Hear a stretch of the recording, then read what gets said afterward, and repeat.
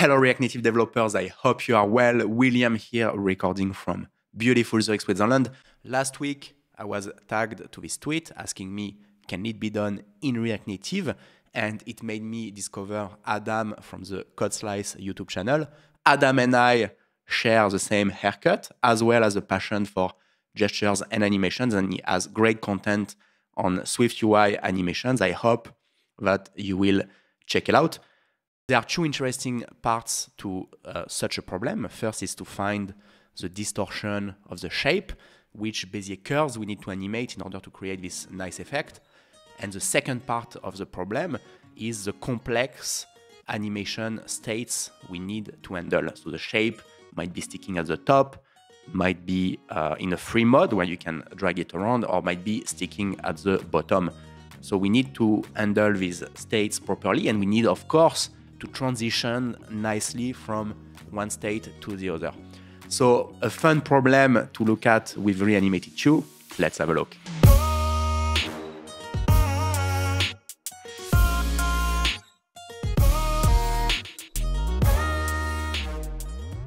Before we get into the code, let's have a look at how we're going to build the distortion of our shape.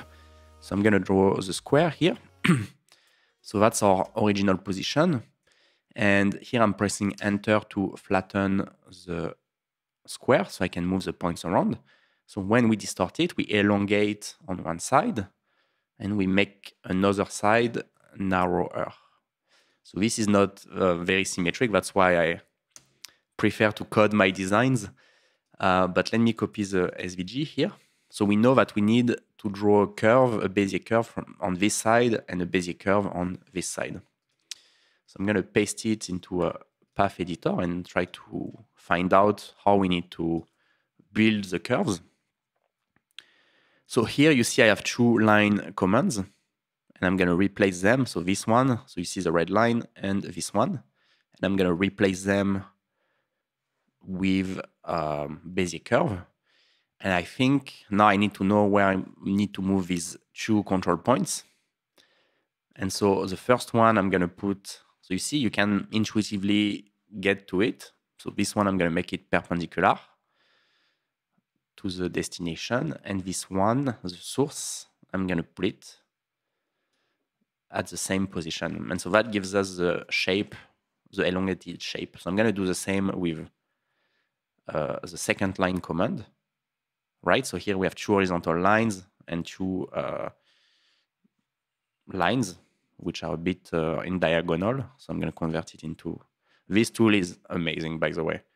So I'm going to convert it into a curve, make it perpendicular. Of course, here it's not really perpendicular, but in the code, we're going to make it so.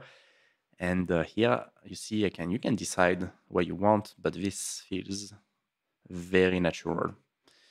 So this is how we're going to animate our shape. Now we can get into VS Code before we get into it, of course, if you are interested to learn the fundamentals of gestures and animations in React Native, plus understanding better how the Bezier curves work and how to use them in React Native, I hope that you will check out my online course at startreactnative.dev.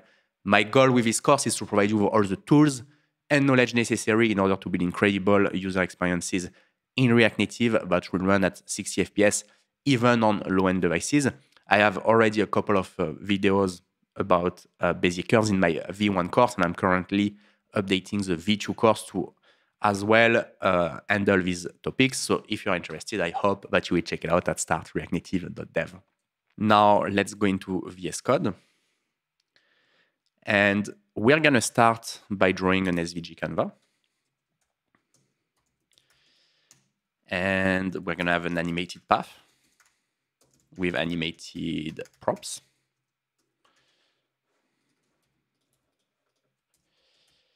So SVG from React Native SVG and animated path from reanimated create animated component path comes from SVG. And so let's create our animated props. So we're going to use use animated props from reanimated 2. And here we need to define the four points that uh, forms the shape, and then we're going to draw lines and curves between these points, and they're going to animate nicely because we're doing it within use animated props. So P1 is easy, it's x0, y0. So it's the first corner of the base. Second corner of the base is also at x, zero, uh, x is size. So we have size here of 150. And y is still 0. The third point is uh, x equals size, y equals size. So now it's the uh, first corner of the apex. And P4 is x is 0, y is size. So now let's draw a path based on these points. So create path. And so we start at P1. We add a line to go to P2. To go to P3, it's not a line, but a curve. So we're gonna add a cubic curve. Destination is P3, so 2 is P3. And the first control point we know is at P2X and I could do P2Y or 0 because let me do P2Y just in case it changes and the second control point perpendicular so we know that uh, it's x is p3x and y is 0. But I'm tempted, instead of writing 0, to write also p2y. Let me try it like this. No, I can put 0. It's always going to be 0. Sorry about that. That doesn't matter. p2x, perfect. then we draw the apex line, so to p4. So P4, and then we do the curve from P4 to P1, so from the apex to the base. We, so we go to P1, and so here it's the other way around. So let me do, let me see. Yeah, P4, no, let's, let's see, P4x, y is 0, it's always going to be 0 and here p1x. Well, we might have a mistake here, we'll, we'll see. But let's see it actually. So let's return the path. So we need to serialize it for SVG to understand. Again, we use redash to do that. And let's add a fill color. And I think we had some uh, nice colors in the 3D video.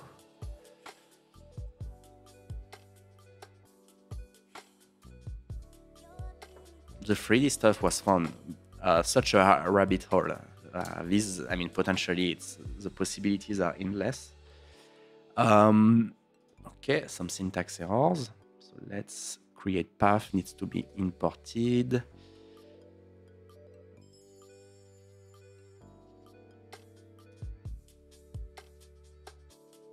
What is the issue here? It's add curve.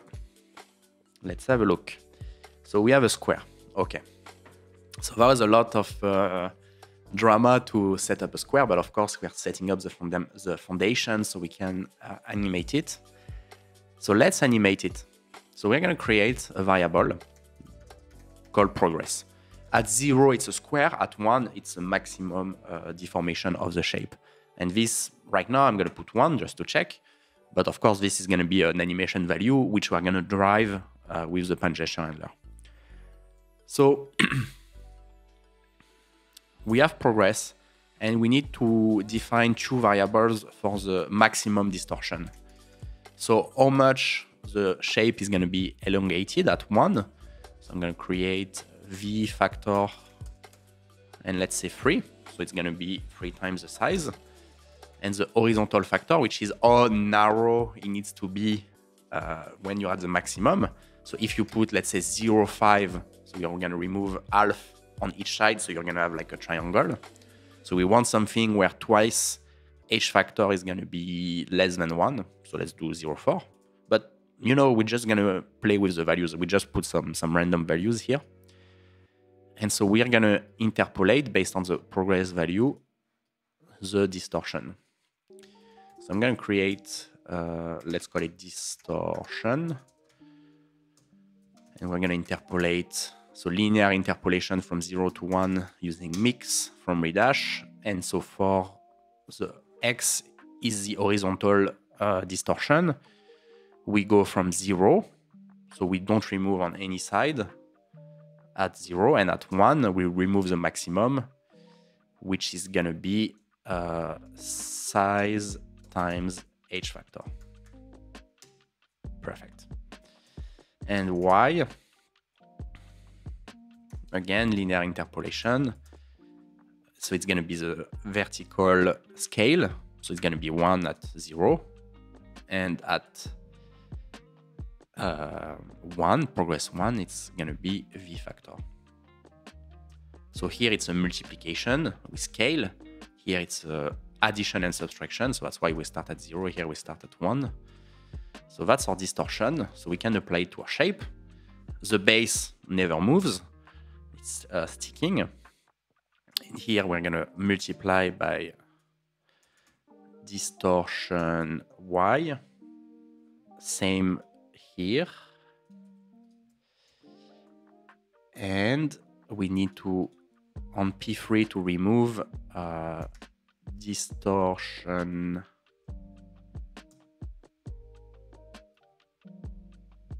X and we add it here distortion x. So that's our uh, shape when the progress is at 1 let's put you know i can put it to zero five. i can put it to 0 it's going to be back to a square i put it to 1 so i don't like it too much i can make it a bit smaller here 2.5 let's see and a bit wider on the top 0.3 yeah looks good so we have our progress that works. Now let's drive it through the pan gesture handler. So this is going to be an animation value which we're going to receive a as a prop from the gesture handler. Uh, okay. We have progress, which is an animated uh, value. So this becomes dot value.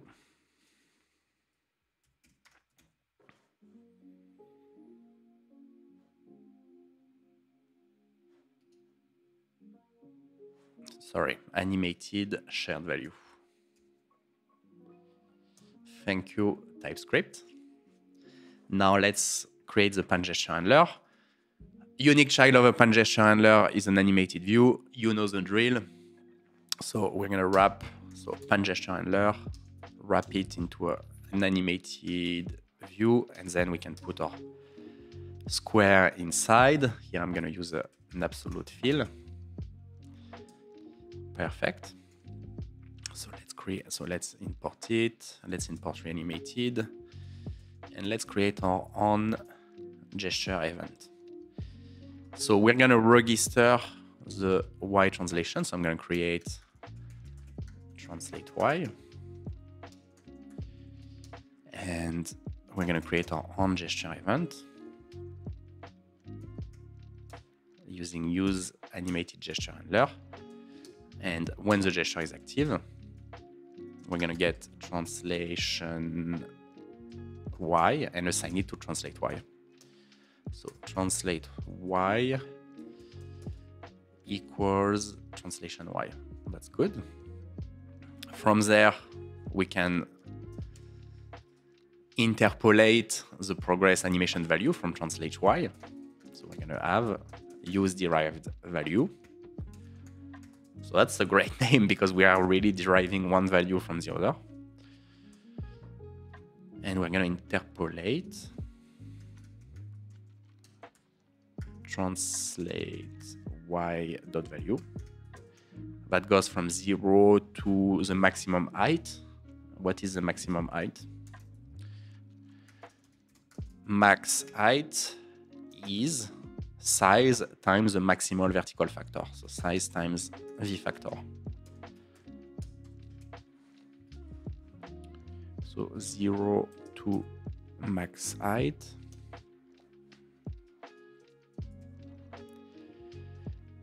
And we go from 0 to 1. And we want to extrapolate. We don't want to go above and below 0, 1. So I need to do some imports. Pass progress as a property.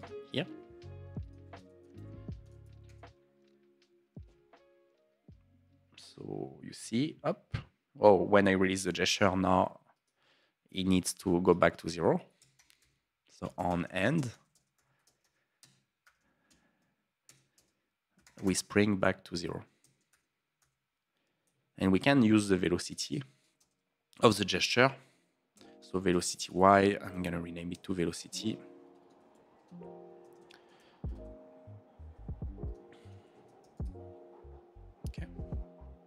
And it bounces back into place. That's very good.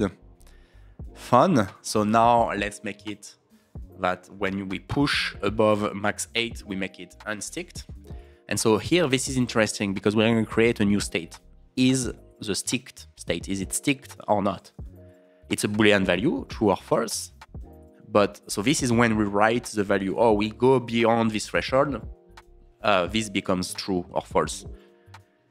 So that's when we write the value. But when we read the value, we want to always transition from one value to the other. So I'm going to create the sticked state and uh, the default value is true. But then I want, so this is for writing, for reading, I want a transition. So I'm going to do sticking is use derived value with spring if sticked dot value is one sorry is true it's one if not it's zero. Very good. And yeah perfect. So if translate y dot value is greater than max height sticked becomes false. When we finish the animation here it becomes true. We sticked to a position. So I'm gonna do sticked.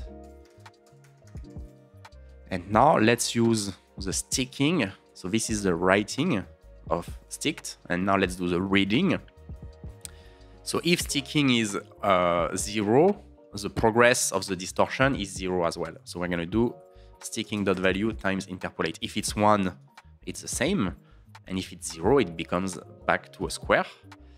And if it's uh, sticking, not sticking, we also, so here's the other one, we need to be able to move the shape around. So we're gonna add a translation here. So I'm gonna create squares, animated style.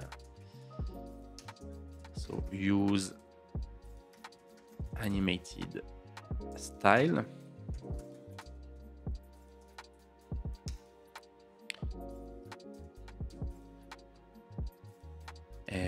Return a transform with translate y. So here we want the opposite value of sticking. So I'm going to do 1 minus sticking dot value and multiply it by translate y dot value. So this should allow us to move the shape around. Again, here you see TypeScript told me about a mistake. That's perfect. So here I'm distorting the shape up. So now I can move it around freely. Uh, and you see how it transitions nicely from one state to the other. So there's nothing abrupt uh, going on here, which I'm really enjoying. Now let's make it so that it can potentially stick at the bottom. Um, so we're gonna add a new state. Is on top use shared value. So default is true. So now when we spring, we need to know if we go to the top or the bottom. So I'm gonna use redash to tell us where to snap. So destination, we use snap point from redash, which is a cool utility functions to tell us where to snap. We pass an animation value, and select y dot value, a velocity, and our snap points, which can be zero or the height of the screen but not the height of the screen because we need to see the bottom. So we're gonna remove size. Now we spring to this destination. When the animation is over, if we moved to the opposite side,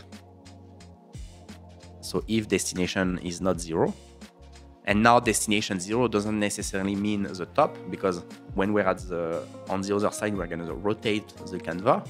So zero means origin and height minus size means opposite side. So if destination value is different than destination is different than zero, we um, toggle is on top, which are gonna trigger a rotation of the canvas. So it's opposite value, which means that we are, we need to have uh, translate y dot value equals to zero. That's good. And if this value is false, we're gonna rotate the canvas here. So I'm gonna create container animation style. This becomes an animated view, of course.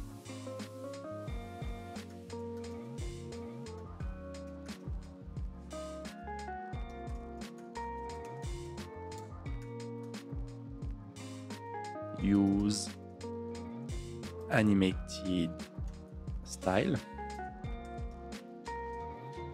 Transform. It's a rotate.